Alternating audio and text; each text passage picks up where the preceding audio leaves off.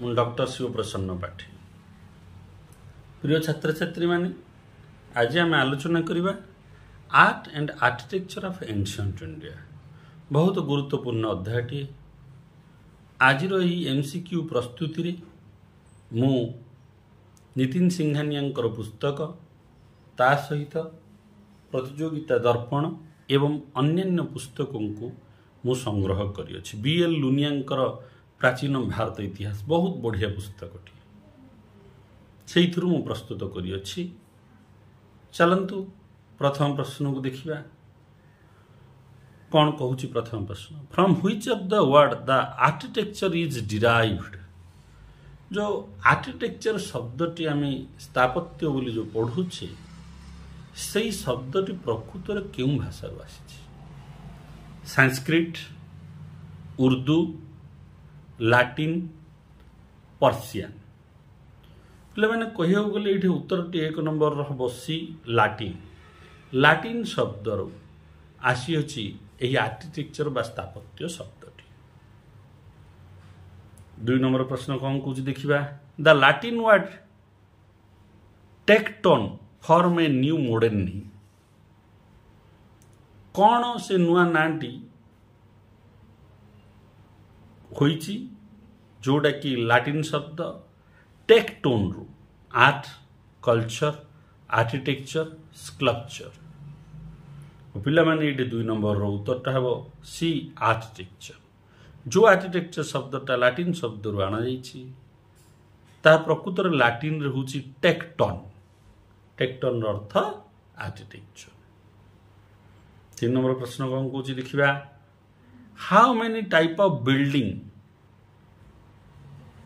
founded from Harappan civilization ତିନି ନମ୍ବରର ପିଲାମାନେ ଫାଇଣ୍ଡେଡ୍ ସ୍ପେଲିଂ ମିଷ୍ଟେକ୍ ଅଛି ଫିଣ୍ଡେଡ୍ ହେଇଯାଇଛି। କେଉଁ ପ୍ରକାରର କେତେ ପ୍ରକାରର ବିଲ୍ଡିଂ ହରପପା ସଭ୍ୟତାରୁ ଆମକୁ ମିଳିଅଛି? ଏକ ପ୍ରକାର ଦୁଇ ପ୍ରକାର ତିନି ପ୍ରକାର ଚାରି ପ୍ରକାର।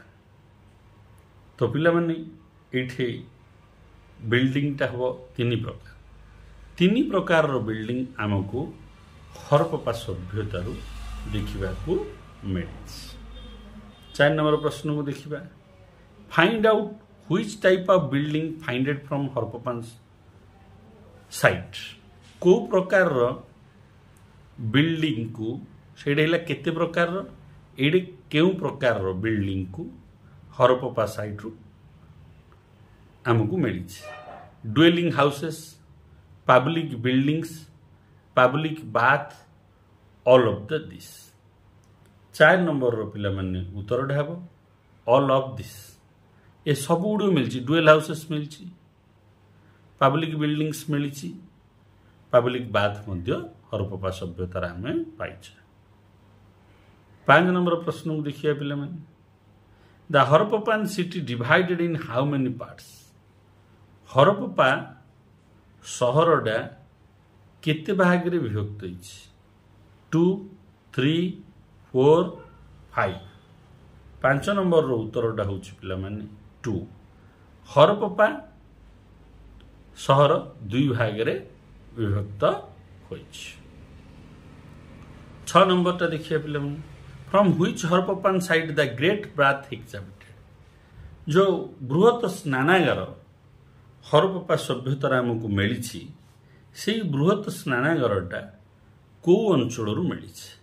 ହରପପା ମହେଞ୍ଜୋଦାର ଧୋଲାବିରା ଲୋଥାଲ? ଏଇଟା ସମସ୍ତଙ୍କୁ ଜଣାଥିବ ସହଜିଆ ପ୍ରଶ୍ନଟିଏ ଛଅର ଉତ୍ତର ହେବ ବି ମହେଞ୍ଜୋଦାର। ମହେଞ୍ଜୋଦାର ଅଞ୍ଚଳରୁ ବୃହତ ସ୍ନାନାଗାରଟି ମିଳିଛି ଯାହାକି ହରପପା ସଭ୍ୟତା ସମୟର। ସାତ ନମ୍ବର ଆମେ ଦେଖିବା।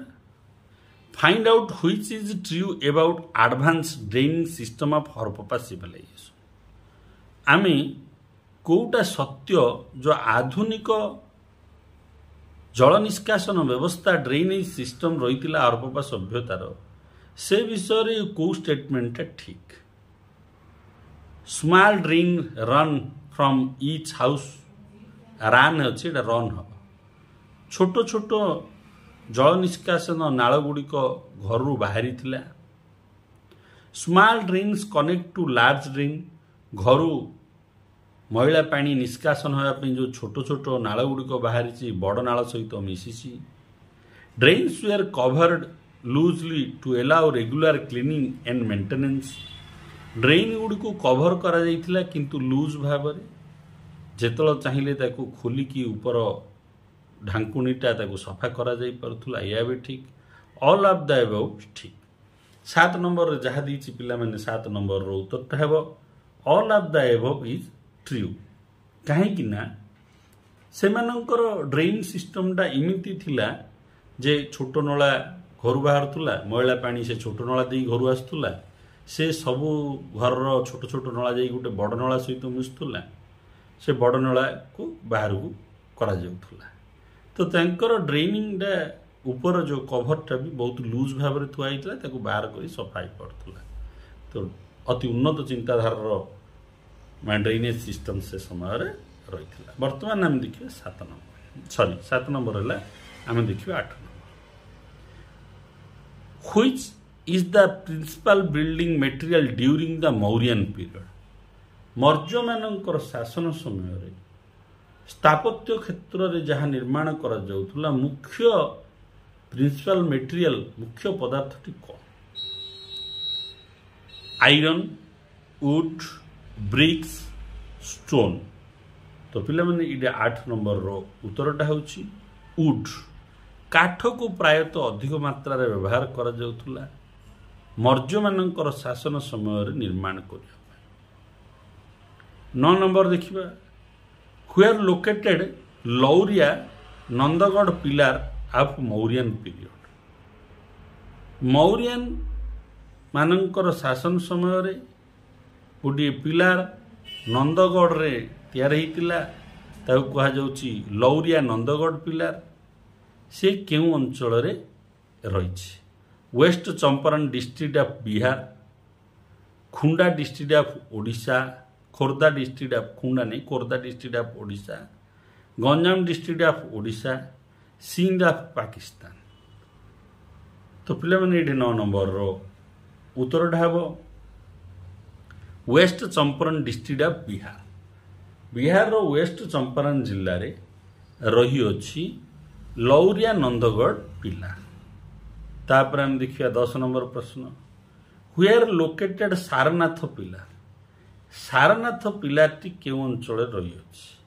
West Champaran district of Bihar Dhauli BBSR Odisha ବା Bhubaneswar Odisha Varanasi Uttar Pradesh none of the above ତ ପିଲାମାନେ ଏଠି ଦଶ ନମ୍ବରର ଉତ୍ତରଟା ହେବ। ବାରାଣାସୀ ଉତ୍ତରପ୍ରଦେଶରେ ରହିଅଛି ସାରନାଥ ପିଲାଟି। ତାପରେ ନେକ୍ସଟ ପ୍ରଶ୍ନ ଦେଖିବା। ଏଗାର ନମ୍ବର ପ୍ରଶ୍ନ କ'ଣ କହୁଛି? Which of the following animal not have on the Sarnath ପିଲା ଯେଉଁ ସାରନାଥ ପିଲାରେ ରହିଅଛି ପିଲାମାନେ ଆମେ ଟଙ୍କା ଚିତ୍ରରେ ଯେଉଁ ଦେଖୁଛନ୍ତି ଅଶୋକଙ୍କର ସିମ୍ବଲଟା ଯେଉଁ ସିଂହଙ୍କର ସିମ୍ବଲ ରହିଛି ସେ ସିମ୍ବଲ ତଳେ କେତେକ ଏନିମାଲର ଚିତ୍ର ରହିଅଛି। ଏଇ ଭିତରୁ କେଉଁ ଏନିମଲଟା ସାରନାଥ ପିଲାରେ ନାହିଁ? ହର୍ସ ଏଲିଫେଣ୍ଟ କାଓ ଲାୟନ ଆପଣମାନଙ୍କ ପାଖରେ କଏନ୍ ଥିଲେ ମଧ୍ୟ ଦେଖିପାରିବେ। ବା ପୁସ୍ତକରୁ ଦେଖନ୍ତୁ ଅତ୍ୟନ୍ତ ଗୁରୁତ୍ୱପୂର୍ଣ୍ଣ ଅନେକ ପରୀକ୍ଷାରେ ଆସୁଛି ଏଗାର ନମ୍ବରର ଉତ୍ତରଟା ପିଲାମାନେ ହେବ ସି କାଓ କାଓର ଚିତ୍ର ସେଇଠି ନଥିଲା ହର୍ସ ଏଲିଫେଣ୍ଟ ଲାୟନର ଚିତ୍ର ରହିଅଛି ସାରନାଥ ପିଲର ନେକ୍ସଟ ଦେଖିବା ଆମେ ବାର ନମ୍ବର ପ୍ରଶ୍ନ in which language written the Satyameva Jayate inscribed below the Sarnath abacus Sarnath ଆବାକସର ଯେଉଁ ନିମ୍ନରେ ଲେଖାଯାଇଛି ସତ୍ୟମେବ ଜୟତେ କେଉଁ ଭାଷାରେ ଲେଖାଯାଇଛି? ସାଂସ୍କ୍ରିଟ ପାଲି ପ୍ରାକିଟ ଦେବନାଗରୀ। ତ ପିଲାମାନେ ଏଇଠି ବାର ନମ୍ବରର ଉତ୍ତରଟା କ'ଣ ହେବ? ବି ହେବ ପାଲି ଭାଷାରେ ଲେଖାଯାଇଛି। ତାପରେ ଆମେ ଦେଖିବା ପିଲାମାନେ ତେର। ତେର ନମ୍ବର ପ୍ରଶ୍ନ କ'ଣ କହୁଛି ଆମକୁ? Where located the Buddhist ଶାଞ୍ଚି stupa Buddhist ଶାଞ୍ଚି ସ୍ତୂପ କେଉଁଠାରେ ରହିଅଛି? Varanasi Uttar Pradesh west Champaran district of Bihar Raisen district of Madhya Pradesh. ତ ପିଲାମାନେ ତେର ନମ୍ବରର ଉତ୍ତର କ'ଣ ହେବ? ଏବଂ ଡିରେ ଦେଲା ଅମରାବତୀ। ତ ବୁଦ୍ଧିଷ୍ଟ ସାଞ୍ଚି ସ୍ତୂପଟା ରହିଅଛି ପିଲାମାନେ ରାଇସିନ୍ ଡିଷ୍ଟ୍ରିକ୍ଟ ଅଫ୍ ମଧ୍ୟପ୍ରଦେଶ। ତେର ନମ୍ବରର ଉତ୍ତରଟା ହେବ ସି ଅତ୍ୟନ୍ତ ଗୁରୁତ୍ୱପୂର୍ଣ୍ଣ ପିଲାମାନେ। ତାପରେ ହେଲା ପିଲାମାନେ ଚଉଦ ନମ୍ବର ପ୍ରଶ୍ନକୁ ଦେଖିବା। Where located the Barabar cave Barabar cave କେଉଁଠାରେ ରହିଅଛି? ଓଡ଼ିଶା ଦିଲ୍ଲୀ ବିହାର ପଞ୍ଜାବ। ତ ଚଉଦର ପିଲାମାନେ ଉତ୍ତରଟା ହେବ ବିହାର। ବିହାରରେ ରହିଅଛି ବାର୍ବରା କେଭ୍ କାହିଁକି ଏଗୁଡ଼ିକ ସବୁ ଆନ୍ସିଏଣ୍ଟ ଆର୍କିଟେକ୍ଚର ପିଲାମାନେ? ଆର୍ଟ ଆଣ୍ଡ ଆର୍କିଟେକ୍ଚରରେ ଯାଉଛି। Where located the Nagarjuni cave Nagarjuni cave କେଉଁଠାରେ ଦେଖିବାକୁ ମିଳୁଛି? ବିହାର ଓଡ଼ିଶା ଛତିଶଗଡ଼ ଦିଲ୍ଲୀ ତ ପିଲାମାନେ ଏଠି ପନ୍ଦର ନମ୍ବରର ଉତ୍ତରଟା ହେବ ବିହାର। ବିହାରରେ ନାଗାର୍ଜୁନ କେଭ୍ଟା ଦେଖିବା ପାଇଁ ମିଳୁଛି। Which of the following cave known as the Pandav known as the Pandav Leni or Trirashmi Leni Trirashmi Leni ବା ପାଣ୍ଡବ ଲେନି ଗୁମ୍ଫା ବୋଲି କାହାକୁ କୁହାଯାଉଛି। Barabar Nasik Nagarjuni none of the above ତ ପିଲାମାନେ ଏଠି ଷୋହଳ ନମ୍ବରର ଉତ୍ତରଟା ହେବ। ନାସିକ କେଭ୍କୁ କୁହାଯାଉଛି ଯେ ପାଣ୍ଡବା ଲେନି ବା ତ୍ରିରଶ୍ମି ଲେନି ବୋଲି କୁହାଯାଉଛି। ତାପରେ ବର୍ତ୍ତମାନ ଆମେ ଦେଖିବା ପିଲାମାନେ ସତର ନମ୍ବର ପ୍ରଶ୍ନ। ହ୍ୱାଟ୍ ଇଜ୍ ଭିବରାସ୍ ସତର ନମ୍ବର ପ୍ରଶ୍ନରେ କ'ଣ ପିଲାମାନେ କହୁଛନ୍ତି ହ୍ୱାଟ୍ ଇଜ୍ ଭିବରାସ୍ ଭୁଲ ଅଛି ପିଲାମାନେ ବିହାର ଶବ୍ଦ V I H A R S Bihar ବୋଲି କାହାକୁ କୁହାଯାଉଥିଲା? ଚୈତ୍ୟ ବିହାର କଥା ଆମେ ପଢ଼ିଛନ୍ତି। ବିହାର କ'ଣ? ପ୍ଲେଗ୍ରାଉଣ୍ଡ ରେସିଡେଣ୍ଟିଆଲ ହାଲ୍ସ ବାଲ୍ସ ହେଇଛି ହାଲ୍ସ ପ୍ରେୟର ହାଲ୍ସ ପ୍ୟାଲେସ୍ ତ ପିଲାମାନେ ଏଠି ସତର ନମ୍ବରର ଉତ୍ତର ହେବ ରେସିଡେନ୍ସିଆଲ ହାଲ୍ସ ଯେଉଁ ବିହାର କୁହାଯାଉଥିଲା ବିହାର ମାନେ ନିର୍ମାଣ କରାଯାଉଥିଲା ସାଧୁ ସନ୍ତମାନଙ୍କ ପାଇଁ। ବୁଦ୍ଧିଷ୍ଟ କୁହ କି ଜୈନ କୁହ କି ଯେକୌଣସି ଧର୍ମର। ତ ସେଗୁଡ଼ିକ ହେଉଥିଲା ବିହାର ଅର୍ଥ ହେଲା ରେସିଡେନ୍ସିଆଲ ହାଲ୍ସ ତ ବର୍ତ୍ତମାନ ଦେଖିବା ଅଠର ନମ୍ବର ପ୍ରଶ୍ନ। What is ଚୈତ୍ୟ? ଚୈତ୍ୟ ଗୋଟେ କ'ଣ?